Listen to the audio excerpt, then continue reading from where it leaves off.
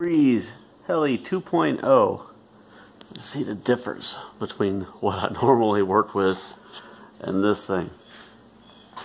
Look at this monster.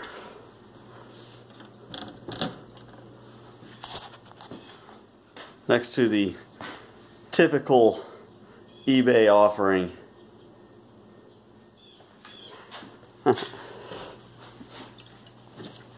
okay, I'm going to try to make these videos To make more of them showing the same information that did with the i1500. I just know nobody really wants to sit down and watch a 20 minute video about this stuff. So we're going to go over what comes in the box and this one and uh, hopefully in the next couple of days I'll actually be able to do a couple of bench tests on this thing. This right here is what all comes with the package with the Heli. You get the motor itself, five blades. I don't know what they call these. They're parts of the the, the balance system. Uh, hub, nose cone, some counterweights, tail vane, and a tail boom. Alright, now one of the features of this mill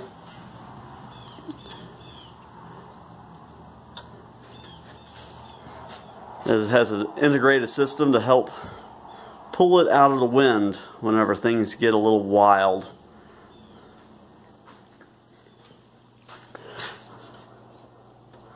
So one of the first things that I noticed about this is that thing weighs 100 pounds.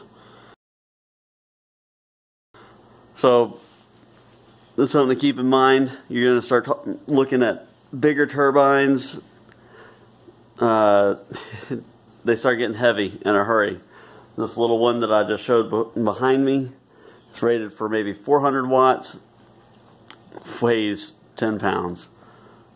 This thing is rated for, you know, somewhere in the neighborhood of 2500 watts, and it is very heavy. Um, the nacelle, uh, or the, the shroud, this is all made out of fiberglass and it's pretty neatly done. The motor itself, which I'm going to do another video, we're going to take all this part to kind of show how all this stuff goes together. Uh, the housing inside, it's all aluminum, uh, looks very neat.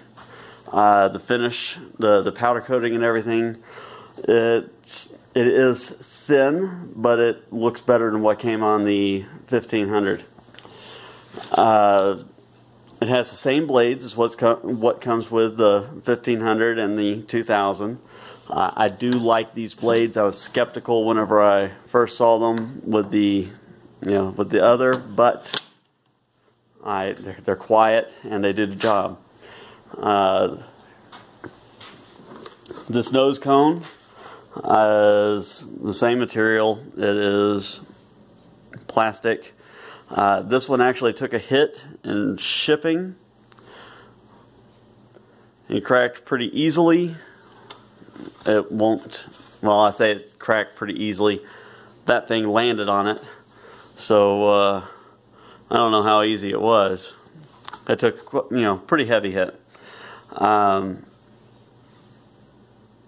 there are some things about it not super neat, but it will do the job and it's stuff that can be cleaned up pretty well. The hub, I'm not super impressed with the hub because this is pretty thin. It's half as thick as what came with the i1500.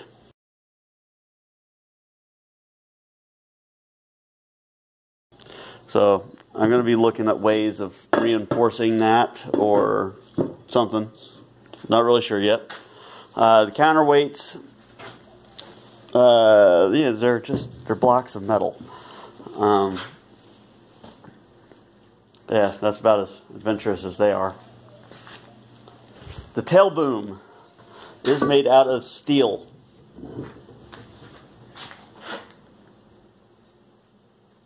It bolts onto the back of the the stub.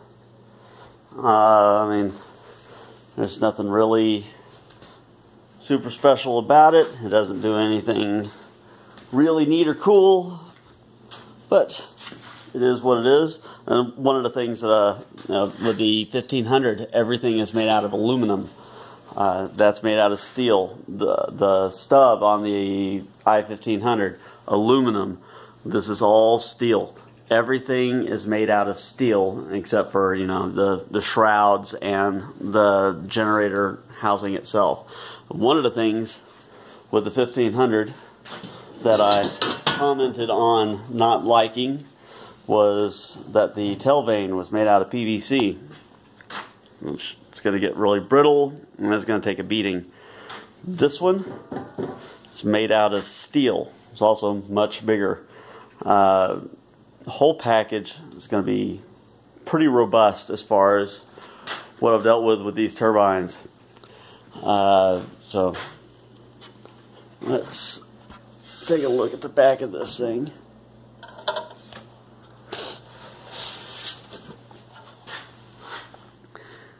This part is open, so I mean it's going to get you know plenty of ventilation. Uh, it is protected from the weather. It's going to it'll still be hit by some driven rain if it's you know if it takes a pretty good blow.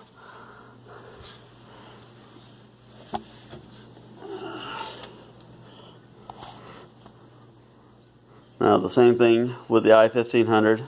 All of the decals, they're, they're vinyl. These ones look pretty decent except for this part back here. I think that's going to start peeling up, which is it's all aesthetic. Uh, a lot of what I do, I don't really care about whether the aesthetics hold up. If you're worried about aesthetics, the vinyl could use some work.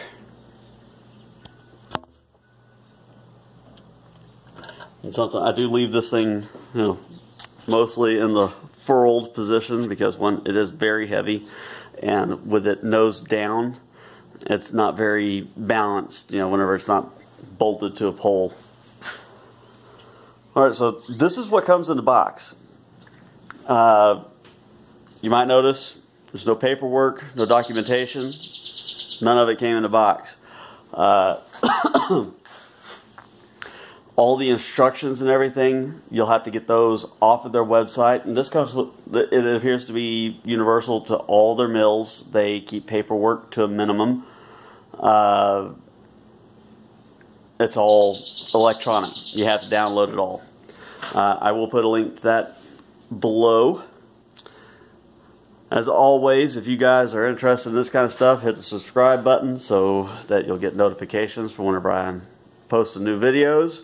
I will have, I, I, am going to try real hard to get a bench test on this thing in the next couple of days, so that video is coming.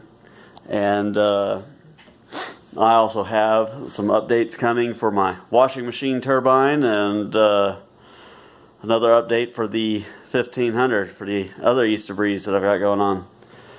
So, that's that. Thanks for watching, guys.